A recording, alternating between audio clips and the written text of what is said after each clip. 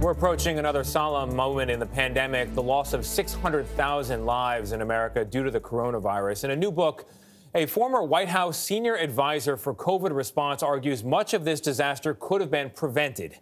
Andy Slavitt left President Biden's COVID response team just last week after taking on the position in January. His new book offers an up close look at the crisis and how leaders responded. It's called Preventable, the inside story of how leadership failures, politics, and selfishness doomed the U.S. coronavirus response.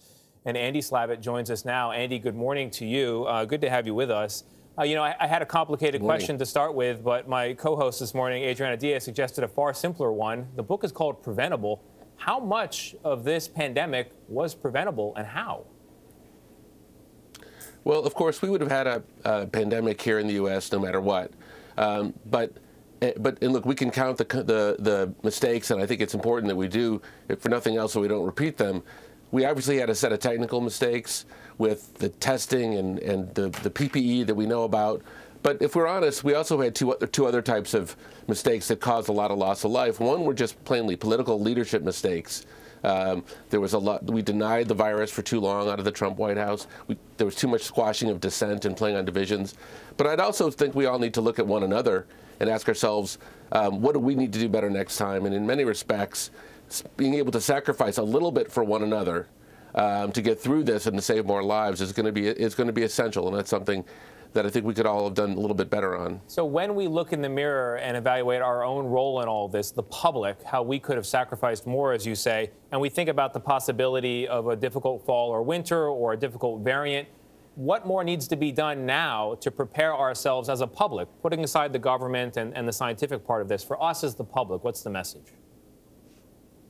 Well, there's a couple simple things. One is that that all the people that for so long live so close to the edge, that don't have a great safety net, that don't have great uh, health insurance, uh, but they're forced to work day in and day out to serve us. They're growing crops.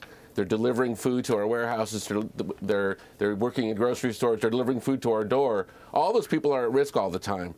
And, and, and so we have to, we, there's a chapter in the book called The Room Service Pandemic, and it talks about how a lot of us had, had it quite okay during the pandemic and others didn't. So we should be looking at that. And then look, preventing the spread of the disease is really about a couple simple things. Not breathing near one another in large spaces. That's really that's really it if you want to be overly simple about it. And that requires a certain amount of sacrifice and change. It's a short period of time, and we, we none of us can do it forever, and it's not pleasant.